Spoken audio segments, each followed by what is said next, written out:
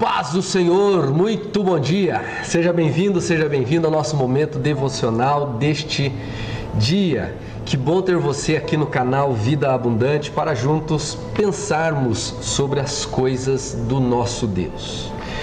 Jesus Cristo certa vez, certa vez, ele fez a seguinte indagação: é, Vocês são homens de pequena fé. Porque se tivesse fé do tamanho de um grão de mostarda, vocês realizariam grandes obras. Hoje eu quero falar com vocês sobre acreditar, ter esperança. Mas a palavra certa é acreditar, acreditar até o fim. Você olhar para aquela realidade, ainda que seus olhos digam não, ainda que o seu braço não toque, ainda que é, tudo esteja contrário. Como eu disse no devocional de ontem, ainda que o mar esteja revolto, você tem que continuar acreditando, porque tudo é possível ao que crê.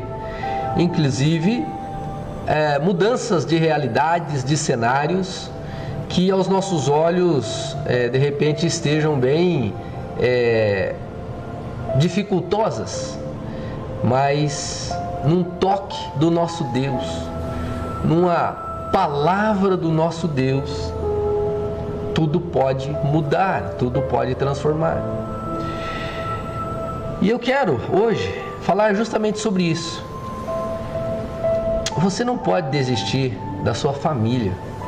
Você tem que acreditar que apesar dela não ser perfeita, apesar dela ter dificuldades, ela é uma bênção de Deus, ela é um milagre de Deus.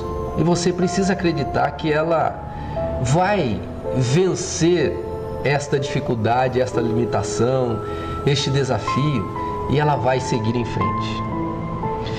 Você não pode deixar de acreditar que você pode ser uma pessoa melhor que você pode vencer aquele seu pecadinho de estimação, aquele seu jeito de ser muitas vezes, o seu gênio mais forte, você não pode deixar de acreditar que Deus tem um plano, um propósito, tem uma ação que está sendo executada através da sua vida.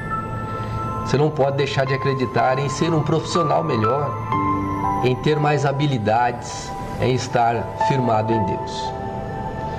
Você não pode deixar de acreditar que é, as coisas que estão à sua volta podem sofrer reviravoltas, podem mudar e você poderá ser um agente dessa transformação. Você não pode deixar de acreditar que nesta caminhada que você está fazendo. A cada dia, a cada desafio vencido, a cada situação enfrentada, você está tendo a oportunidade de ter um encontro com Deus, um encontro que pode transformar, um encontro que pode mudar, um encontro que pode é, reverter realidades e você também sofrer alterações para melhor. Não deixe de acreditar, porque Jesus Cristo está vivo. Ele venceu. E apesar da gente não enxergar ele com os olhos, ele está vivo e ele está no nosso meio. Ó oh, irmãos irmãs aqui do canal, eu quero orar por você agora quero pedir que Deus reanime a sua fé, que Deus é, transborde na sua vida, que Deus mude realidades e transforme situações diante de ti. Senhor nosso Deus, louvamos o teu nome, agradecemos o Senhor, engrandecemos, porque o Senhor é Deus.